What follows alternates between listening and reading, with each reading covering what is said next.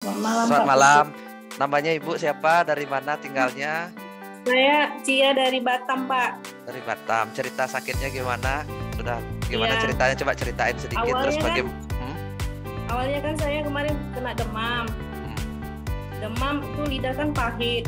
Terus tiba-tiba dia ke lambung karena eh, nafsu makannya kurang kan.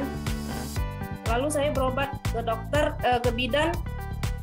Itu disuntik, udah disuntik tapi eh, nyeri di ulu hati saya ini nggak nggak hilang-hilang. Ah, ah.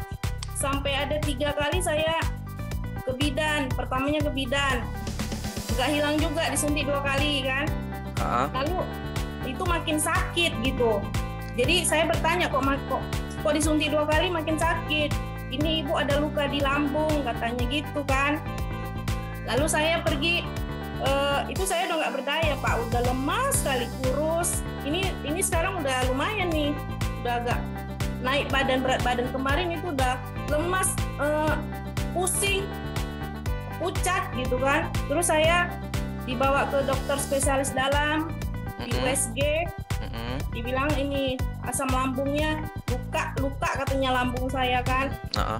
nah di situ saya memang udah kayak putus harapan karena itu sakit sekali memang kan saya hanya terbaring di atas tempat tidur aja nggak bisa Nyerinya Bergerak. seperti seperti nyeri di hulu hati ketekan gitu ya atau gimana rasanya sampai nggak enak Iya, Pak. gitu?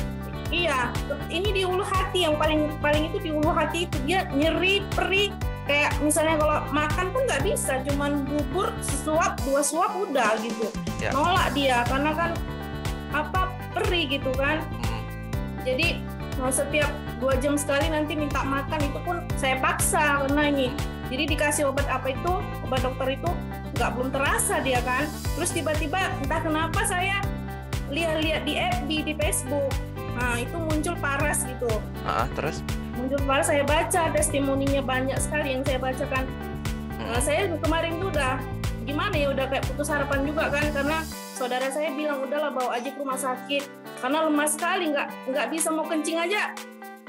Kamar mandi aja susah gitu Mm. kan saya hanya di tempat tidur di dibawa kasur ke ruang tamu saya hanya terbaring di situ Terus gimana ceritanya pakai minyak paras itu?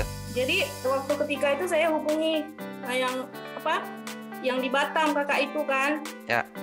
jadi saya pertamanya sih saya hanya mau coba gitu benar nggak ini ya gitu karena kan saya pernah pakai apa namanya ada kayak merek lain nggak terasa Ya. gitu kan saya lihat-lihat lah kan saya lihat terus saya kontak kakak itu kan Mm. yang di Batam punya.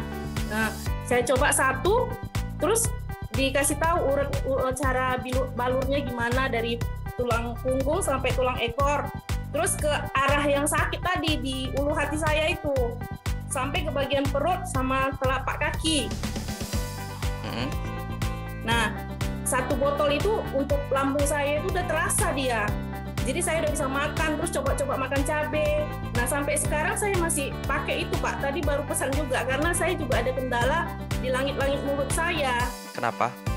itu ada kayak apa namanya kayak gumpalan dibilang gumpalan darah atau gimana ya kayak lebam apa gitu. Ya, ya. tapi ini udah udah kemarin itu pertama saya kenapa saya sambil putus harapan juga kemarin kan itu ada nanah gitu kan.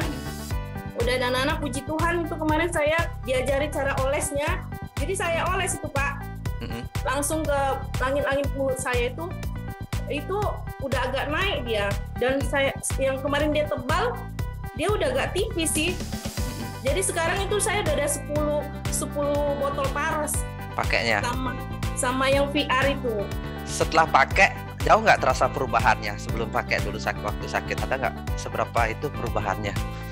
Sudah sangat banyak masuk? sekali pak itunya Ah, ah, gimana? perubahannya perubahannya dari dari apa pertama kan agak nyeri-nyeri ya yang kok pas di langit mulut saya itu Mm-mm. ya waktu sebelum pakai itu kan saya kan kemarin ada juga herbal dari langsung dari Kalimantan itu Pak yang Bajaka saya sekarang udah berhentikan jadi sayanya pakai yang paras Oke.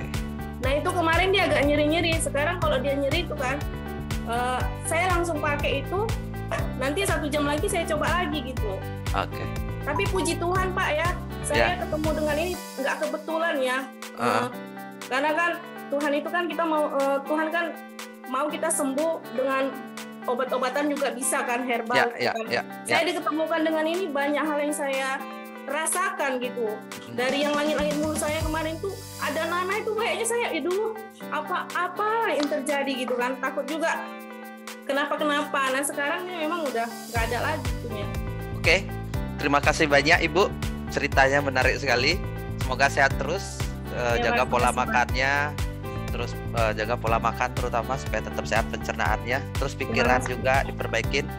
Terus kalau sudah merasa sehat bisa berbagi cerita sama teman-teman